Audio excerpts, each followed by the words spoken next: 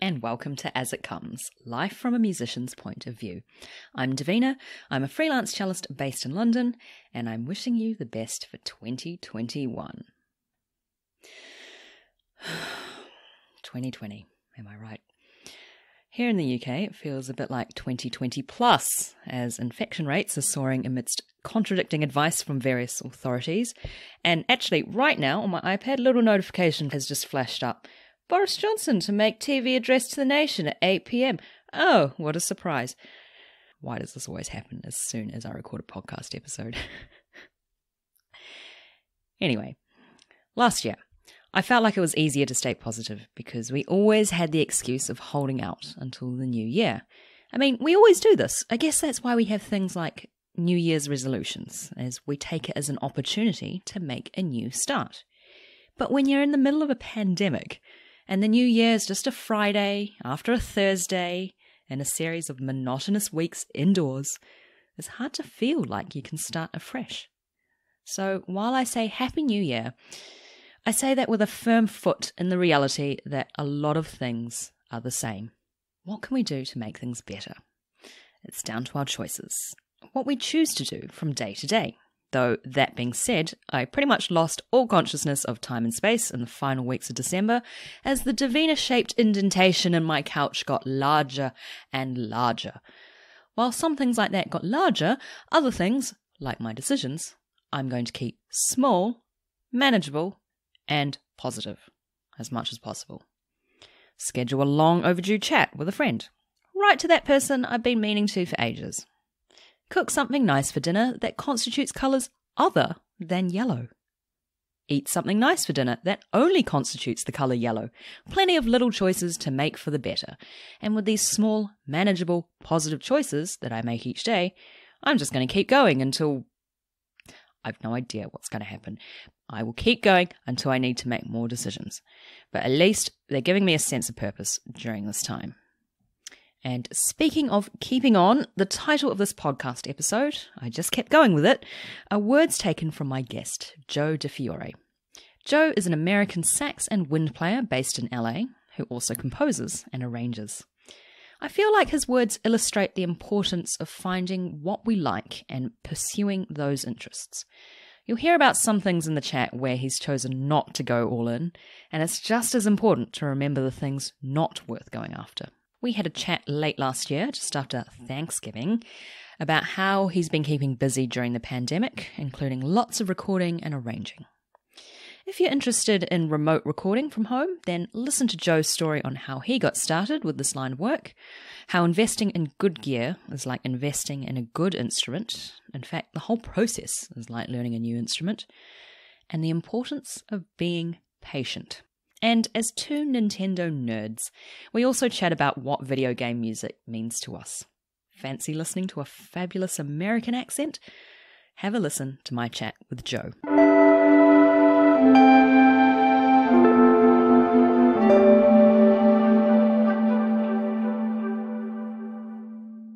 We should be good. I might just kick things off officially if everything's all good with Yeah. you. Great. So, Joe Di Fiore, welcome to the podcast. Good morning to you. I believe it's about 10:30 in the morning in LA and here I am in London speaking to you in my evening.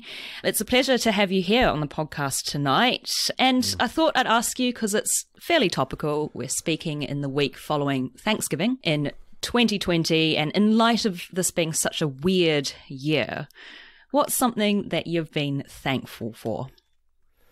Yeah, uh, a couple of things come to mind. I think the certainly the first th- thing I'm thankful for is friends and family. I think you kind of see from this pandemic that's been going on too, and you're having to stay home uh, for uh, certainly most of the world. Is that you you kind of learn to appreciate and what kind of gets you through life, if you will, is just your your strong relationship with your friends and your family. You know what I mean? I think it's good to have that support you have with people as well that are close to you. So I th- I would say that's certainly one thing that uh, comes to mind is certainly um yeah, friends Yeah. and family for sure. Have you managed to have friends and family close to you during the pandemic? And even last week during Thanksgiving, did you manage to spend time with them? Yeah, it was just uh my it was just myself, my brother, my mom. So it was just kind of keeping that. Uh, I think it's like the three households like recommended here. So uh, yeah, so it's a small group. In some ways, it could be better because it's it's nice to have that small group, so it's more intimate that way. So I don't know. Maybe it's just me making a positive light of everything. But that's a good thing, though, isn't it? I mean, I think you're lucky that you get to have three households together. But then, you know, as you say, it is nice just to keep things intimate, isn't it? And you feel like you can speak to everyone around the table rather than missing someone who's way at the end or something. Yeah, definitely. You know, there, I think whenever I go to like Thanksgiving in the past, I would see just whatever family members and that you know you kind of mostly see on the holidays, and you're like, uh, you, I don't know if I'd say you tolerate them because that sounds really mean, but like you, they just make these statements like, okay, and you just kind of let it go. Yeah, yeah, for You sure. know. Like those family members where you see them maybe once a year, and maybe that's quite enough for you. Yes, exactly. Yeah. Exactly, exactly. Yeah. And so, what sort of state of lockdown or restrictions are you in at the moment in LA? Well, it just got a lot worse because of uh, flu season and everything like that. So they have certain color tiers. So we're just put into purple tier right now.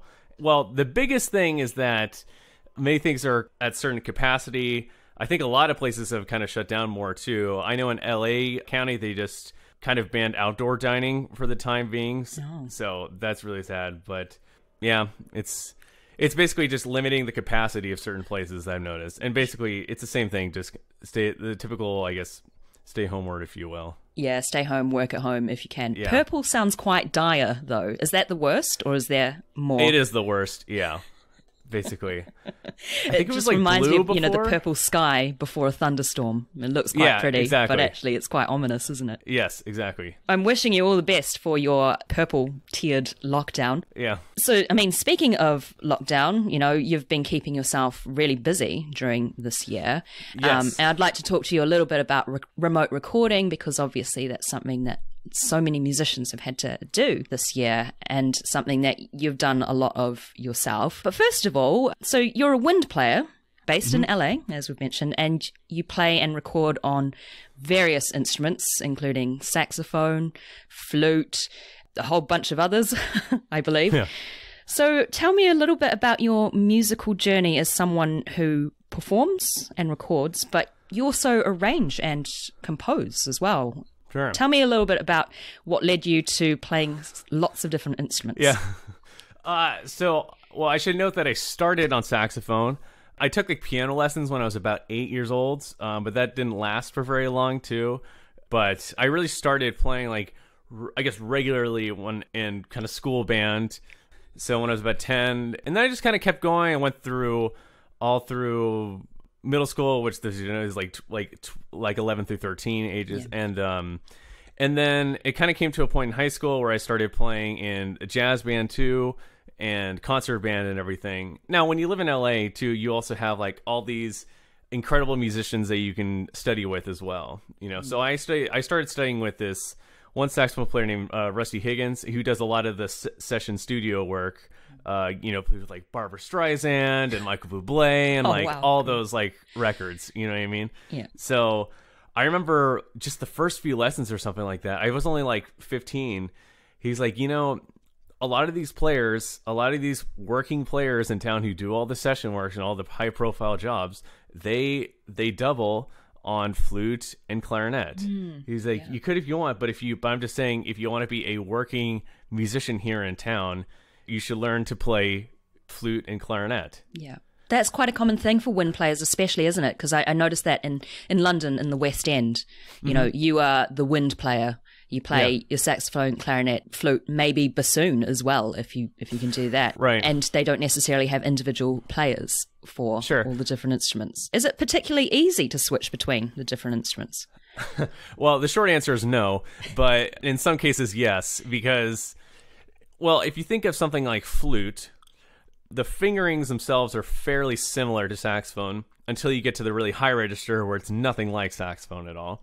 But it's also, the embouchure is also nothing like saxophone at all. Of course, yeah. But there are also kind of similarities and certainly positives to learning these instruments too. So, for example, clarinet.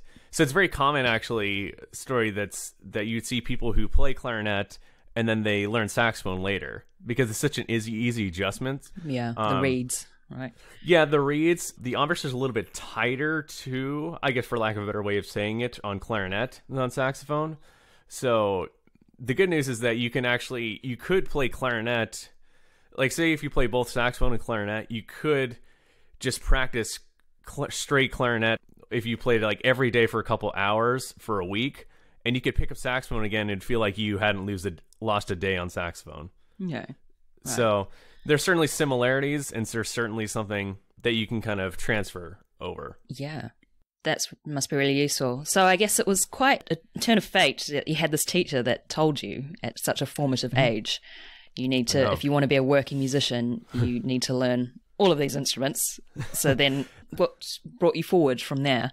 I mean, I've kind of always, I've, I've kind of always known that I'd want to be a musician for a living since I was like 13. So I know that happened.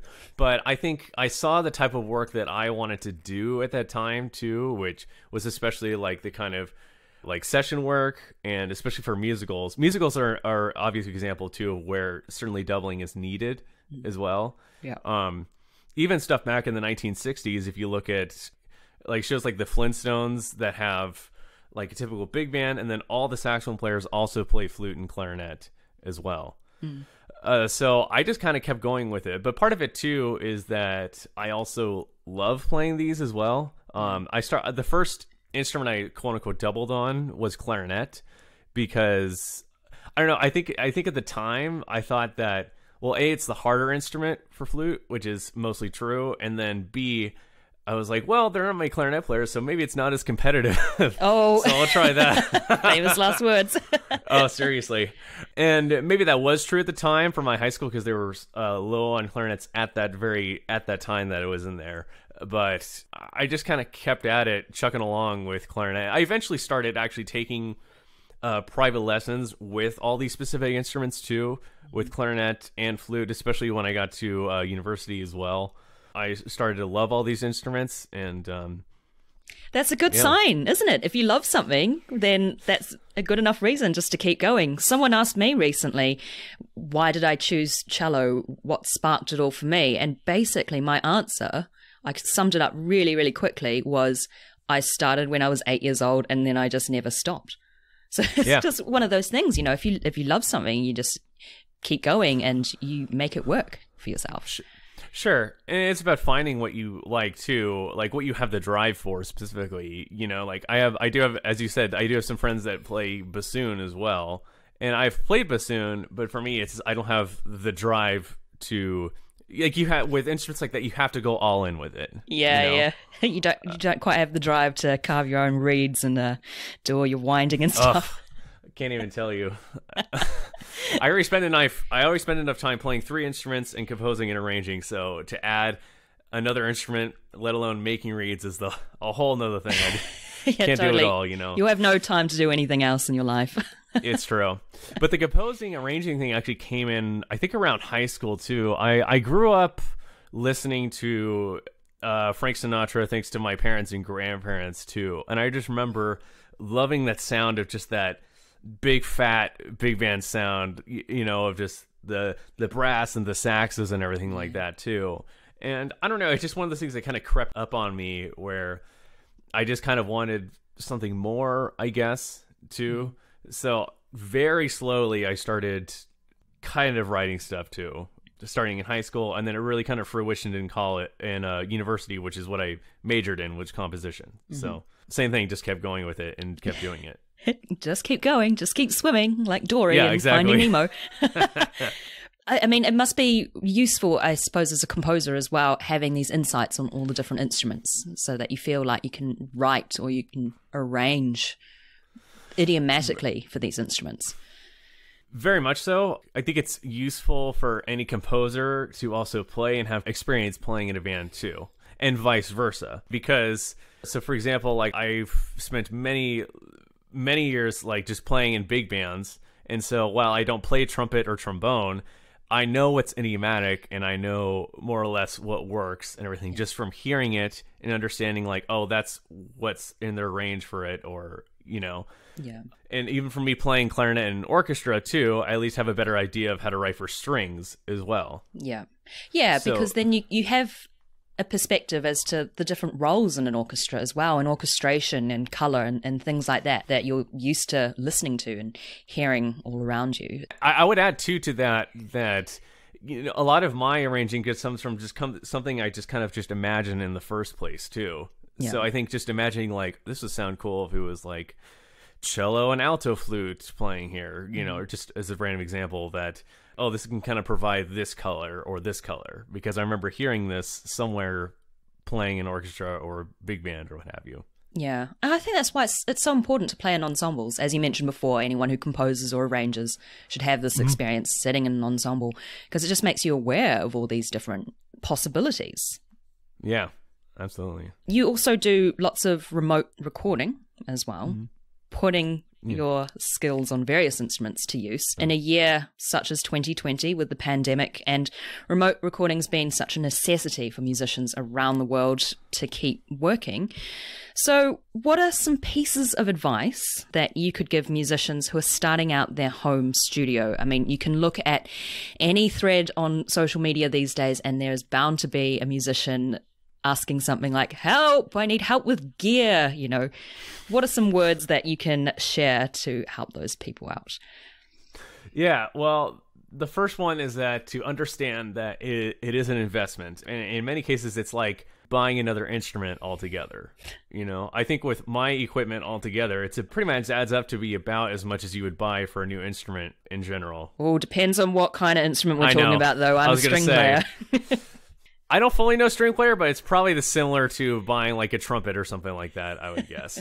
I'll put it up. I guess to put it like that. But I, I would say so. It is an investment. I mean, okay. So the good news is that most people have either some sort of garage, like Garage Band, on at least one of their uh, platforms, and as long as you have that, you can get a, a recording interface. Which can usually connect to your computer. Some people also record on iPad too. That can work as well. And as long as you get a mic too, it's all and that's I mean that's really oh and headphones too. yeah. But that's pretty much all you need. I I started doing that uh, when I was in university as well because I took an audio recording class. I was like, this is kind of cool. I want to kind of try this, you know. So for a while, I had like just like a hundred dollar interface and a hundred dollar mic for quite a while, and I just never knew what to do about it. And then just kind of all of a sudden I started getting work through an app or these like a recording session, remote recording work too, and which gave me like a ton of experience to try to just start. You yeah. know, Take your $100 interface, your $100 mic, kind of for a test drive and just get experience that way. And just make sure that hmm. you know how all the gear works first before Yes. investing in something absolutely ridiculous. Yes, And then not having all the gear, no idea kind of thing, which I think a lot of people fall into the trap of. They buy the fancy microphone and then not how to use it properly. yeah. I think for me is that you you kind of know how it works, and then once you know how it works, you're like you get to a point where like this could be better. you Oh, I in a know. Yeah, it's so Yeah. Uh. addictive, isn't it? You probably get this, but I've had another composer friend talk to me about gear acquisition syndrome or gas. Where you, you, Yeah. s- you buy like one microphone and then you realize, oh, but now I need this, and then I Yeah. need this one, and this model's coming out, and it's amazing. All of a sudden, you've got like 10 microphones. yeah which is which as i was saying is exactly like equipment for an instrument you know it's the exact same thing as it's like the equivalent of me saying like oh i got a new mouthpiece oh i got this new ligature you know it's the it's it's a very similar type of deal Yeah, so gear definitely an investment. In terms of actually going about and finding work, so you mentioned you got some experience working through an app, um, and how else do you go about finding remote recording work? oh this is i used to do a lot actually was was actually craigslist i did ads for a little bit too and that actually helped too Is Craigslist like? I don't think we have that in the UK, but I, Oh, I think I know what Okay. it is. It's like public listings. You you put exactly ad, it's like a public listing wanted or for sale kind of thing. Yes, Yeah. exactly. So it's just I think posting on public listings help a lot too. There's not just one surefire thing. There's a ton of different things you could do. Um, Certainly, social media posting about it is one thing. Making people aware of that, and then a lot of it too is just kind of the typical like how you get any gig, just Yeah. like word of mouth. You Yeah. know? And fostering relationships with people that you know, isn't it? Like I, I definitely know people who've gotten work, and myself included, because I just happen to be friends with certain composers or arrangers, and they, if they know that you're around, then you're more likely to be on their radar for when work pops up. Yeah, I'm sure you've gotten the same thing where somebody's like, "Oh, do you record this or do you do you do this?" You know, and you, and you'd be like, um, "Yeah, I th- yeah, I can," and then Yeah. they hire for it, right? Yeah, yeah, exactly. you just say yes first, and then you figure out the logistics afterwards. Exactly. Yeah. And then But- also in terms of doing the actual work as well, what are your suggestions for, you know, playing in certain rooms? Do you do much treatment to your rooms to make sure that the room is a certain dryness or boominess or things like that? so typically, you try to keep it as dry as you can for remote recording work. Typically, what people want is that you don't want much natural reverb in and of itself because they want to add the reverb Sure. after. So they typically want just like dry wave file. You could treat the sound. My my room is typically okay, uh, where it's not a whole lot of reverb at all. You could put up some things. I haven't really had to put too much time into that too, because Yeah. most rooms, unless, unless you're gonna like record in a bathroom or something like that, you shouldn't have.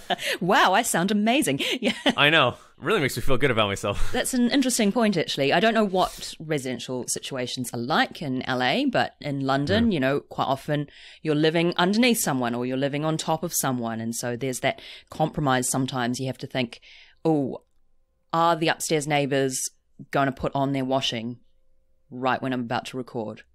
Or Right. is the rubbish truck going to arrive at the beginning of the session? Yeah, that's always a, tr- a tricky one too. That I unfortunately don't have a full answer to. I've I have a friend's studio actually in that every time that we have to stop just because there's a train going by. So it's there's there's no surefire way Yeah. uh, of doing that. I'm trying to remember what it was. I'm I'm there's something that you could put on like the corner of your walls. I wish I could remember what it's called exactly. I'm told I, I remember what it looks like. It's like this piece of like I don't know if it's foam necessarily, but it's like kind of a piece of gray that you put on the corners, and it kind of basically just uh, limits uh, the type of reverb. Oh, that's pretty cool. I mean, I can't remember again, that's called, like further investment, isn't it? Once you've got all the gear, then you can stop thinking about gear and start thinking about how to treat your room. And then it's like buying another instrument, as you say. But yeah, I mean, there's there's all sorts of things with recording at home that you just don't think about when you go to a studio, perhaps Sure. to work, and you're already in this perfect environment. But then at home, there's plenty of other things you've got to think about. You know, Right. babies next door, animals walking in the room. Turning off things. AC as well. That's really interesting to hear about your insights into remote recording and also your um, struggles as well. Can I also add one more thing too? I think the third one that I forgot to mention is to be patient because I can't even tell you how many problems I've came across um, when recording, and it's it's always something different too. Like why isn't it recording, or why am I not hearing myself, or why is this crashing? You know, I think we just have to be. I think those who start remote recording, I think we just have to be patient and understand that in some ways it is kind of like learning another instrument. And we have to understand that it's going to take time and there's no there's no problem in asking for help with people if need be or youtube videos too Yeah, oh, for sure. I mean, that's basically how I, I learnt how to make a podcast was via YouTube tutorials. But yeah, that's very true. And in general as well in life, especially in this year where we're all in a very vulnerable state, asking for help is the best thing that you can do. absolutely But yeah, absolutely. There's it's such a steep learning curve for a lot of people, and I hope your words have been really helpful for mm-hmm. people who are wanting to go down this avenue. But speaking of mm-hmm. recording, I know that you've done a lot of YouTube videos and you've done some recordings of uh, some video game music. yeah And we have to talk about this, obviously, because one of my favorite games of all time is Animal Crossing, which is on Nintendo Switch. And I was very, very pleased also to see that you'd recorded music not only to that, but also for Super Mario Odyssey, which, in my opinion, one of the best games in the world. well agreed I saw that and I thought, we can definitely be friends. Yes But um, in terms of video game music, tell me about your experiences with video game music and what are your favorite pieces from the genre? I think it's similar to any kind of other music that we kind of grew up with. Like in a similar way, I kind of grew up. I remember Nintendo 64 was the first console I ever owned. You know, when I was a kid. So of course the music to like Mario and and Zelda are like stuck in my head forever, and they just kind of hold a certain place to me.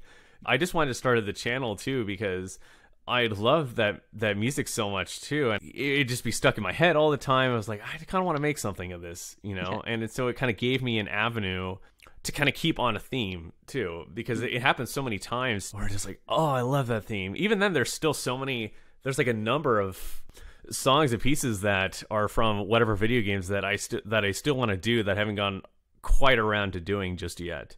I certainly any kind of Zelda, anything of Ocarina of Time is certainly one that is just beautiful and beautiful melodies. I see. I think certainly at that time, and I think a lot of the Mario games have, and Animal Crossing do really uh, such a excellent job of just writing really memorable melodies. Yeah. You know. Yeah, absolutely. That totally gets stuck in your head. I mean, I don't know if you played Animal Crossing last week when it was Turkey Day.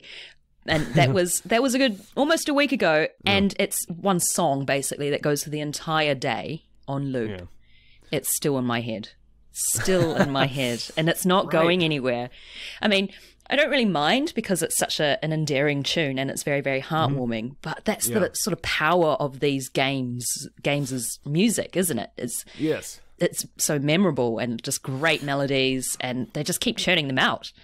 Yeah, I think when you, especially when with games that have like Animal Crossing, that music is such a big part of it too. You know, whether it's going to KK Slider for the uh, concerts on Saturday. Although I have to say, KK's voice, KK is like the superstar musical dog that appears on your island on Animal Crossing for the Right. uninitiated. His voice is next level annoying. right but to be fair he there there are some because there's so many songs that he can, that he has in his catalog that it's like some of them are like oh this is pretty this is pretty cool you yeah, know? yeah. What one are you going to Yeah. do next?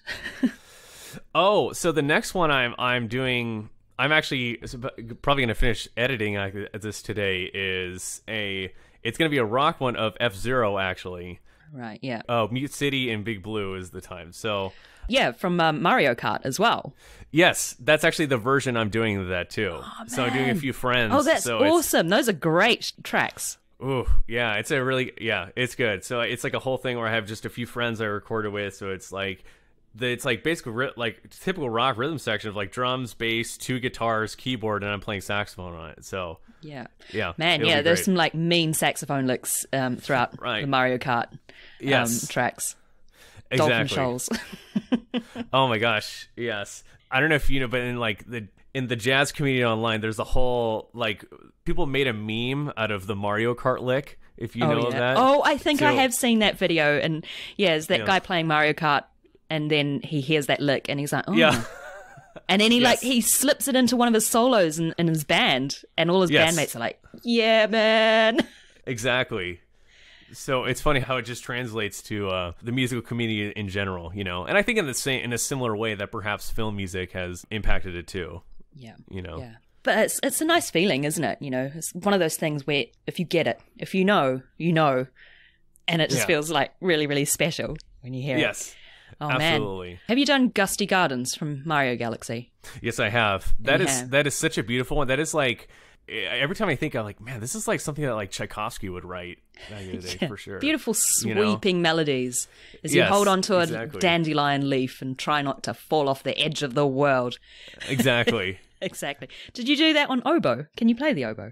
I have an oboe, but it's one of those things where I kind of I haven't felt the need to kind of go like all in with it. you know Okay, what I like mean? like the bassoon. it's- Again, maybe it's Yeah. a double reed thing for you. it is it, partially yeah but again it's just like another investment too you know? It's and uh, having a really solid oboe is i guess similar to uh, the other instance is a lot of investing you know a lot of money to invest in Yeah, you for sure. And there are other things you- you'd probably maybe want to do with your life, maybe. possibly yeah Brilliant. Well, I look forward to more video game recordings on your YouTube channel. Um, it's always such a delight to see things like that, especially because I feel quite well ensconced in the Nintendo Switch community these days, as do a lot of my peers now in lockdown. There you go. yes of course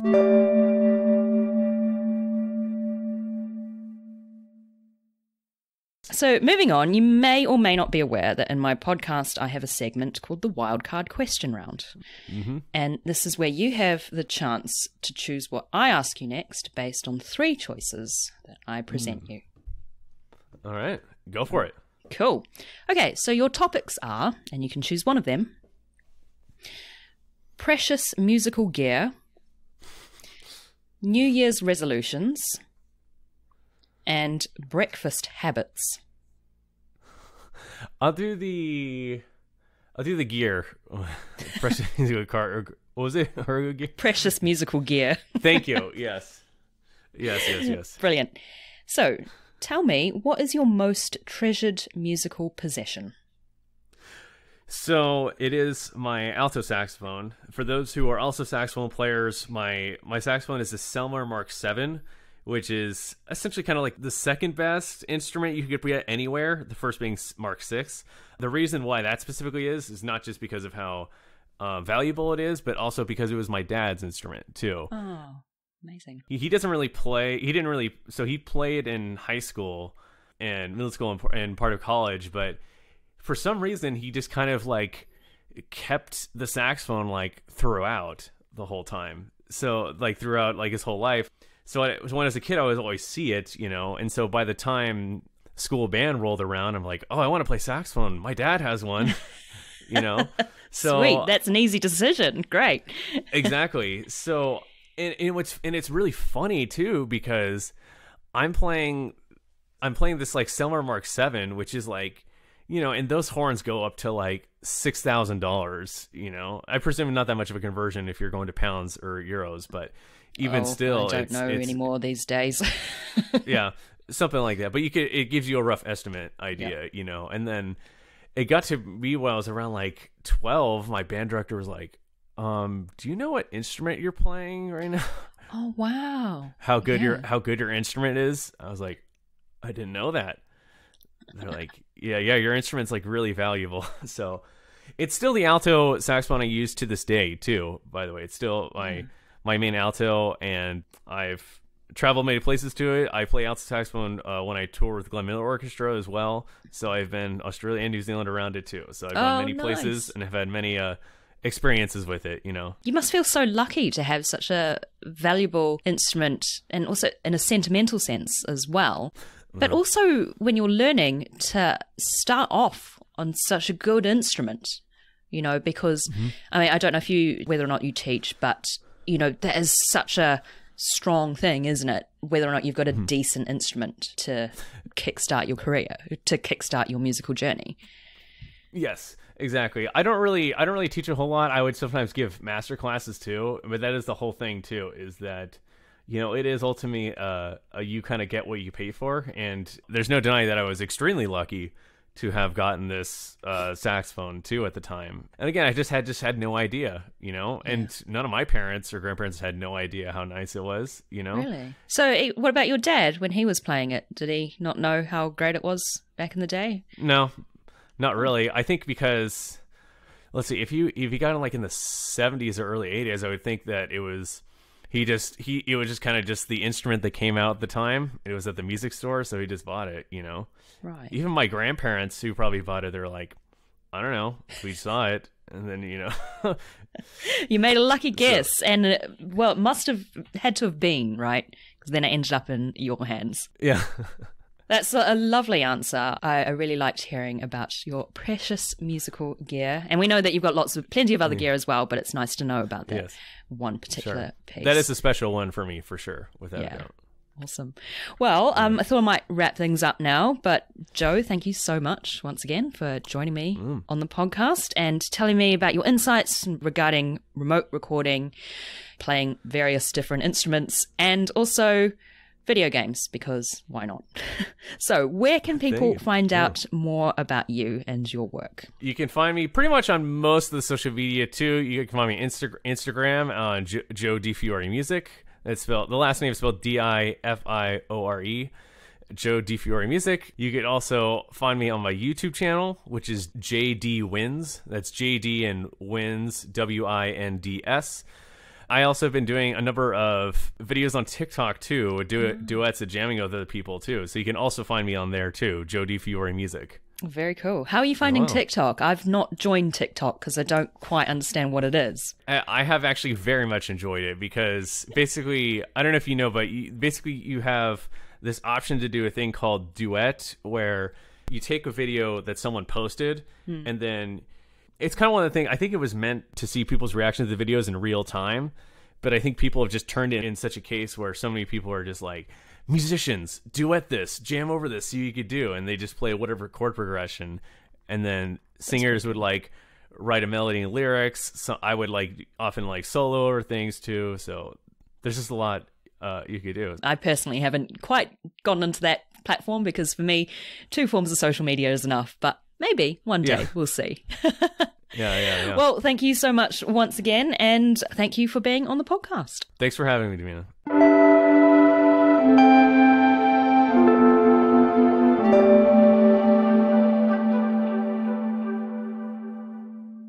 That was my conversation with Joe Di Fiore.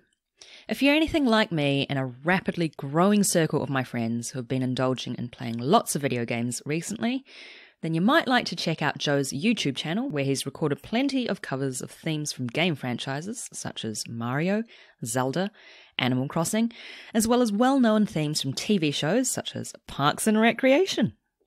Such a good show. Mark and I binged that show twice during the pandemic. It's so feel good and weirdly prophetic about American politics. I highly recommend Parks and Rec. Anyway, check out where you can find out more about Joe and his wonderful portfolio of work in the show notes. That's it for today. Special thanks to Roz Nagy for my logo and Daniel Elms for my jingle. What's keeping you busy these days?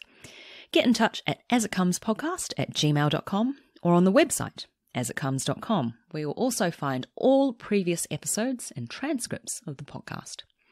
You can also get in touch with me via Instagram and Facebook, where I highly recommend you give me a follow and a like at As It Comes Pod. Remember to rate, review, and subscribe on Apple Podcasts or wherever you get your podcasts. Thank you to those who've already done so, and thanks for continuing to spread the word. Chat to you soon and take good care. Bye.